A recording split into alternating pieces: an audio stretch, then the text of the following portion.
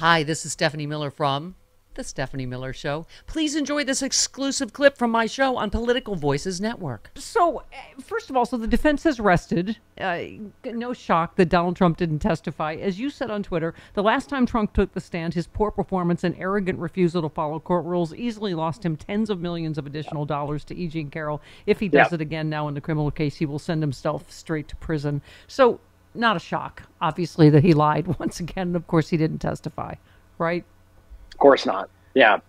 Yeah. I mean, I, I always thought that was a, a bit of a hollow threat or promise, you know, it, or, or more of a uh, don't threaten me with a good time situation. I was sitting here hoping he would because I just thought that it would be an absolute catastrophic dumpster fire of, of testimony.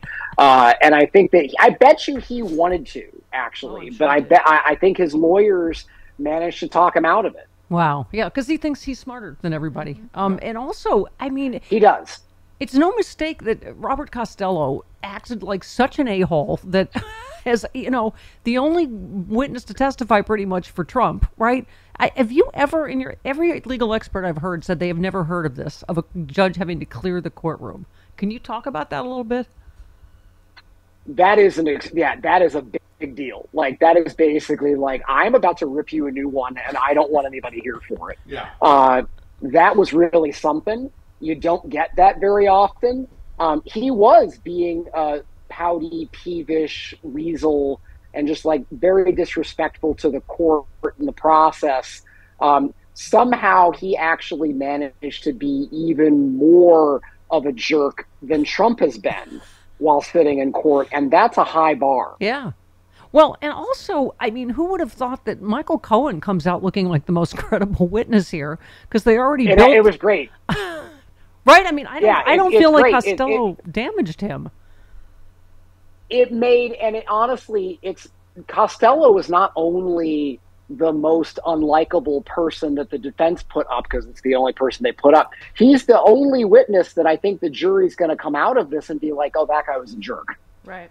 Like that's like that's a tough thing to do. It's like you only put on one witness and it's that guy. like boy oh boy. So yeah, talk about somebody the jury's not going to like.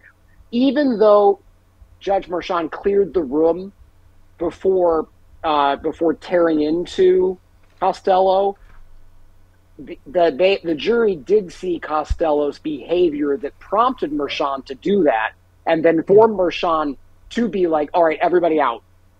is definitely something that like the jury will pick up on. And as somebody else on Twitter said the other day, like in a lot of these kind of cases when it's weeks, the the the uh, the jury tends to get a little attached to the judge, Mhm. and Judge Merchan seems like a pretty likable guy. I don't. It's not a good idea to do that with the judge. That's a great way to get the jury pissed Yeah. off at you. So Yeah. yeah, I don't think. I think all of that actually. It's not that. It's not even only that it didn't help Trump. Costello actively hurt them. Yeah, So exactly. they put on their own case. It was super short, and they made their and they made it worse for themselves. Yeah. Trump always makes things worse for Trump. Um, and also, Yes. you know, you can join most experts here in saying Trump's lawyers' cross examinations are not good. A good cross gets the other side's witness to admit facts that help your case. Trump's crosses just try to make the witness look bad. The latter only works in PR, but Fox News and the New York Post aren't deciding this case, the jury is. That's a great point. I mean, they had a ridiculous client with a ridiculous defense, but, you know, it, it, they also, like you say, it just was almost shocking how bad they were. Look, I'm not. Here's the thing. I, I actually have decided I'm going to write this up after this case is over, and I'm not going to say what I want to say right now. But you know why? Because Stephanie, I don't want to help them. Right. I don't Yes. want to help the Trump people. Yes, everybody hold their So breath. I'm not going to tell them what they should have done because there was an opening here to be able to do effective crosses of some of these witnesses, and they just didn't do it.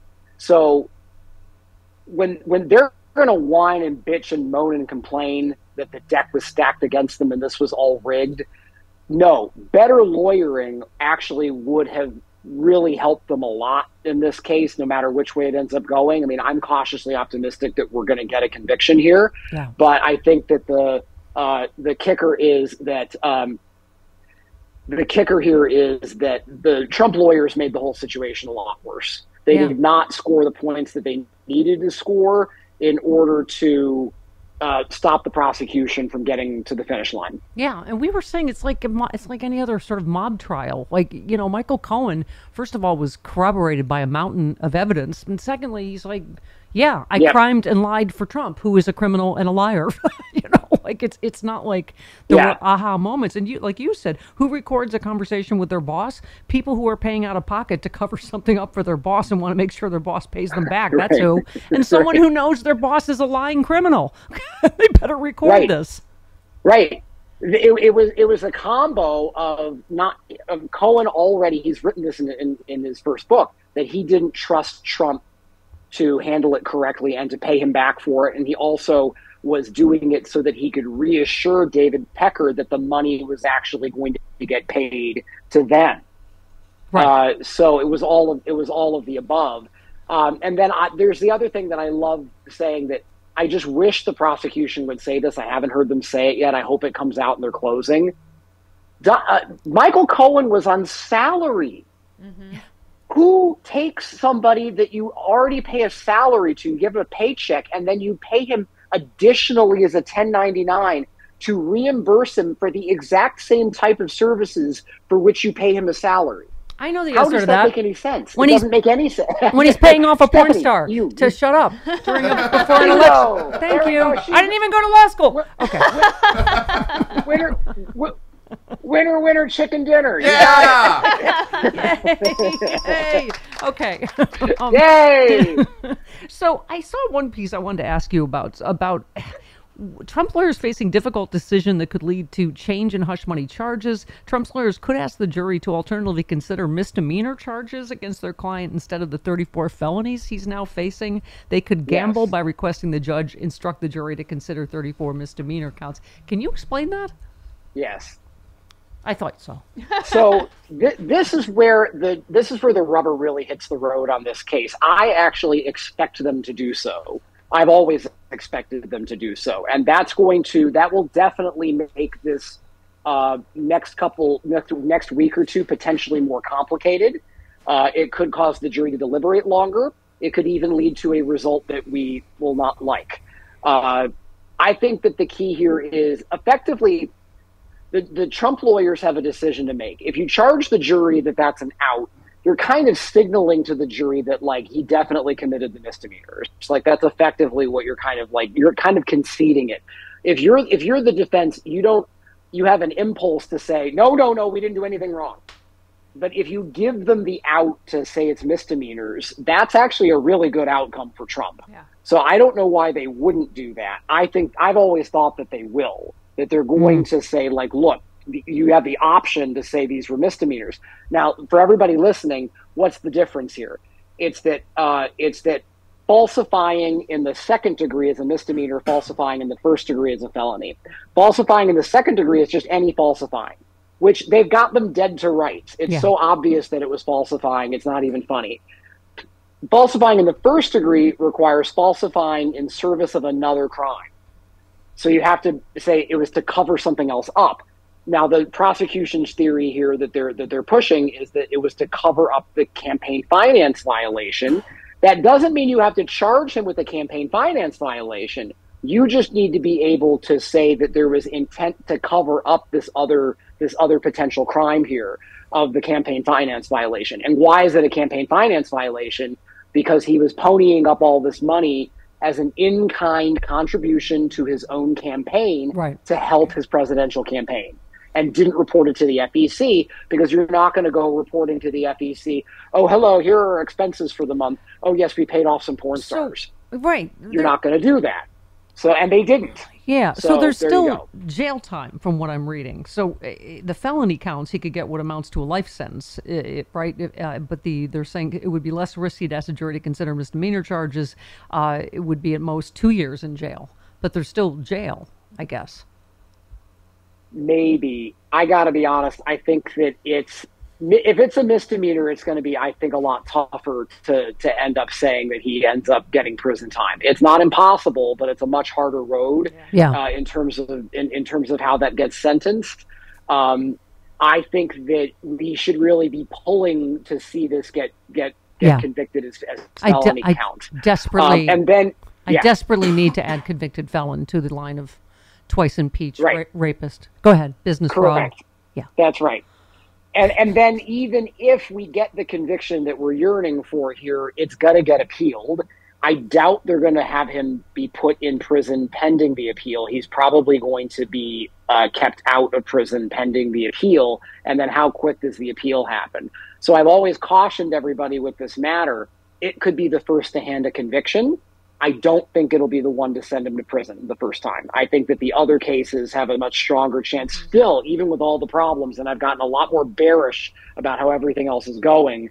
Um, but uh, but I do believe that it, this is it's going to be a longer road to see this be the thing that sends him to prison. I admit to being that person that only wants to hear what I want to hear. So I didn't really even listen to anything you just said. Yeah, you, didn't When- listen- you lost me the minute you said The- no the- jail. The thing that the thing that I come back to now is that I think that you know that a lot of these things are rigged, and Yeah. they're rigged in Trump's favor. Yeah, like exactly. the thing is that why does he run around saying everything is rigged? It's because he has rigged it. He Ex- put all of his pets on the Supreme Court. Mega donors have been bankrolling their lifestyles. We have, we have corruption in the Supreme Court that we've never seen in the history of this country. We have other judges on the bench who also seem to have uh, hidden Yeah. agendas, and it is it is completely poured buckets of sand into this process. The net result I always want to leave everybody with is that we can't. I came into this year thinking the courts were going to do their job. I'm now hitting a point where I'm thinking like, screw it. We just have to go and we need to vote, vote, vote, Yes. vote, vote, vote, vote. We can't wait for anyone else to save us. We got to do it ourselves. I opened the show with that. We got to double, triple, So- quadruple down on democracy. Real quick before we go, this is Yeah. because how many times do we say eh, Supreme Court, Supreme Court, Supreme Court? We were talking about how important it is to vote. And you said Samuel Alito supported Trump's coup and is now trying to make sure he is immune from being prosecuted for it. I mean, this is where we're at. Yeah. What, what do you suggest we do? I mean, that's the. I mean, I mean that's the thing is that um, you look at Alito and his his what he what he said during the oral argument on the immunity issue a couple weeks ago, and it is terrifying how ready he is to completely subvert the rule of law just to support his chosen candidate. Uh, and and his ideological kinsman, weirdly enough, I- I- and Trump is their tool for achie- achieving an ideological agenda. Uh, no, the end result is look, the Supreme Court ends up being a trailing indicator of where America is because you get you, you have to get the presidency, you get the Senate, you get these people on, and then they're there forever. They're there for decades. Yeah. So we're stuck with people that were put in there by the Bushes. Like what we need to do now is we just need to keep winning every single Yes. election we can And push. and over the next decade or so Yeah. we're going to be able to push this boulder back up the hill Yes. but this boulder has rolled back down the hill and is crushing us right now we're just going to have to push Yep. it back up the hill yeah, we got to push for all of it. Term limits, expand the court, whatever Yeah. we have to do. all, and all of that i believe Yeah. it i Yeah. yeah. 100% Tristan, you are just a rock star, and there still is no answer to how you're so handsome. I don't I know. think his parents had something to do with that. probably. Yeah. All right. You're fantastic. maybe i hope Thanks, Thank Tristan. Thanks, Tristan. See you next time. thank you